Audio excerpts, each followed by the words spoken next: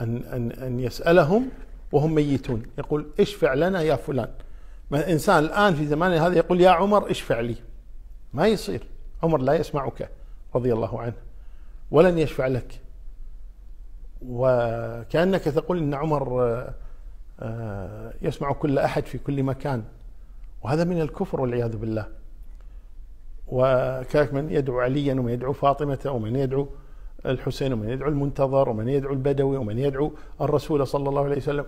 أيا كان.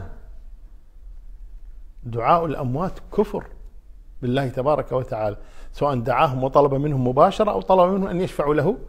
عند الله تبارك وتعالى طالما أنه يعتقد أنهم يسمعونه ويردون عليه ويستجيبون له. لا ما يجوز هذا. فإذا طلب الشفاعة لا يجوز إلا بإذن الله ورضاه سبحانه وتعالى عن الشافع وعن المشفوع له.